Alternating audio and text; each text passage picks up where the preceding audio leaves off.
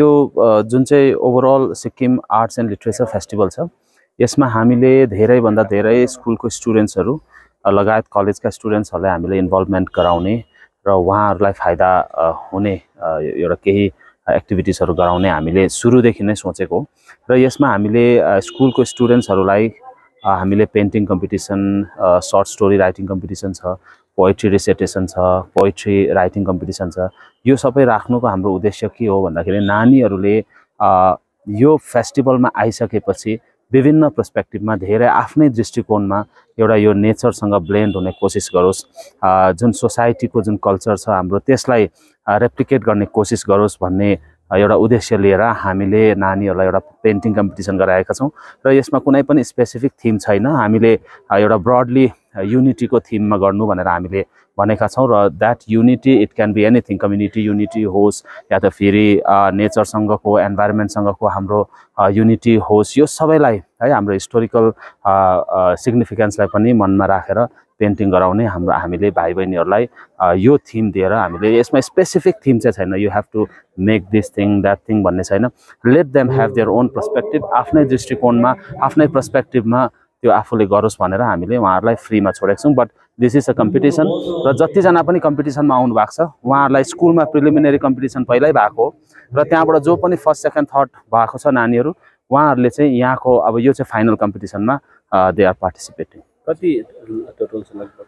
हामीले गेजिङ र सोरेङ डिस्ट्रिक्टको प्रायः सबै स्टुडेन्ट्सहरू सबै स्कुलहरूबाट हामीले बोलाएका छौँ र हामीले मोर देन थाउजन्ड स्टुडेन्ट्स स्कुलको मात्रै हाम्रो छ।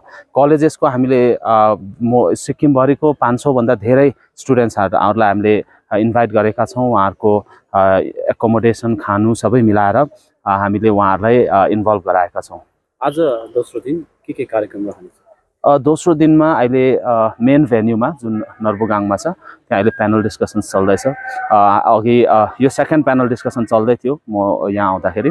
र फर्स्टको प्यानल डिस्कसन हाम्रो बाहुबली सिरिजको राइटर उहाँको एउटा डिस्कसन थियो फिक्सन राइटिङमा मिथोलोजी फिक्सनमा कसरी के हुन्छ भन्ने कुरामा उहाँको डिस्कसन त्यो सकेपछि बादमा अहिले हाम्रै सिक्किमकै तिनजना प्यानलिस्ट लगायत एकजना हाम्रो एक्सपर्टसँग उहाँहरूको प्यानल डिस्कसन हुँदैछ। आवर हाउस अन फायर भनेर त्यसको थिम छ। द्याट्स बेसिकली हाम्रो इन्भाइरोमेन्ट र क्लाइमेट चेन्जको विषयमा आज डिस्कसन हुँदैछ र day long we have different themes धेरैवटा थिमहरू छ। त्यो थिमहरूमा डिस्कसन हुनेछ। We have panelist from outside the state we have panelist from within the state also हाम्रो धेरैवटा एक्सपर्ट्सहरू पनि छन्।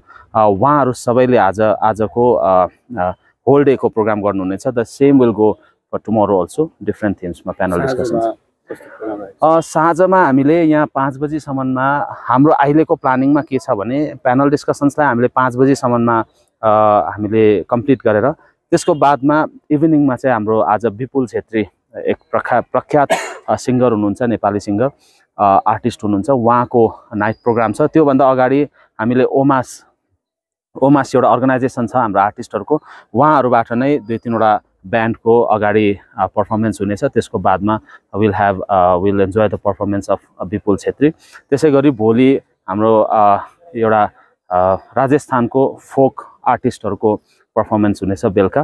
त्यसको अगाडि फेरि हाम्रो लोकल लोकल आर्टिस्टहरूको नै प्रिलिमिनेरी पर्फर्मेन्स हुनेछ। त्यो सकेपछि त्यसको बादमा चाहिँ हाम्रो राजस्थानको फोक आर्टिस्टहरूको भोलिको फाइनल डेमा इभिनिङको प्रोग्राम चाहिँ त्यस्तो रहनेछ।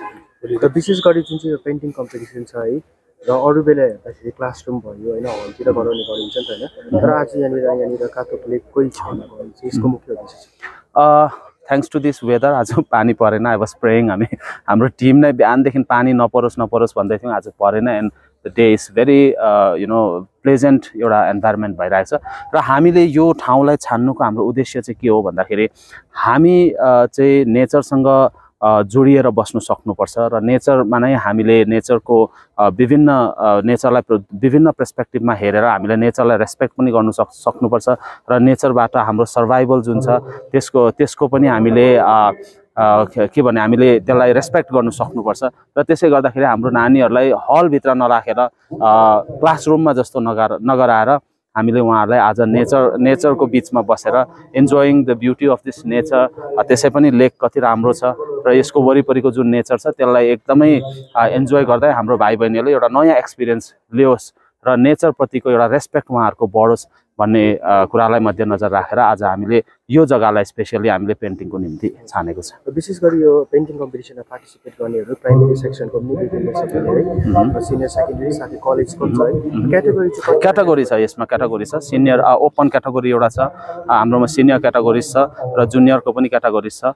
र यसमा हामीले विभिन्न पेन्टिङ मेटेरियल्सहरू हामीले दिएको छ। जसले वाटर कलरले पेन्टिङ गर्नु सक्छ दे हेभ द्याट प्रिभिलेज उनीहरूले गर्नु सक्छ। जसले क्रेयन्सले गर्छ नानीहरूले स्पेसली जो जुनियर लेभल छ उहाँहरूले क्रेयन्सले पनि गर्नु सक्छ। हामीले क्याटेगोराइज गर्नुको हाम्रो उद्देश्य चाहिँ के हो भन्दाखेरि आफ्नै लेभलको एउटा कम्पिटिसन होस् एउटा प्रेसर नहोस् नानीहरूलाई लेट देम इन्जोय हार्नु जित्नु भन्ने कुरा सबैमा हुँदै गर्छ तर नानीहरूले पेन्टिङ चाहिँ इन्जोय गरोस् भन्ने चाहिँ हाम्रो उद्देश्य हो। र जति पनि नानीहरूले यो पेन्टिङ बनाउनु भएको छ यो पेन्टिङलाई चाहिँ है जो जो पनि विनर हुनुहुन्छ. होइन साथै पेन्टिङ भयो र अन्य धेरै पेन्टिङ कम्पिटिसनहरू पनि छन् त होइन इन्टरनेसनल लेभलमा पनि छन् त होइन। उहाँहरूलाई त्यहाँनिर लैजाने पनि तपाईँले फर्स्टमा त हामीले जुन पेन्टिङ कम्पिटिसन हुँदैछ यसमा हामीले उहाँहरूलाई प्राइज राखेका छौँ र हामीले सर्टिफिकेट्स पनि दिँदैछौँ first Sikkim art and literature फेस्टिभलको अर्गनाइजरको तर्फबाट। र अर्को हामीले जति पनि नानीहरूले पेन्टिङ गर्छ त्यो पेन्टिङको हामीले त्यसलाई एउटा हामीले बुकलेटको फर्मेटमा नै हामीले बुक त्यसलाई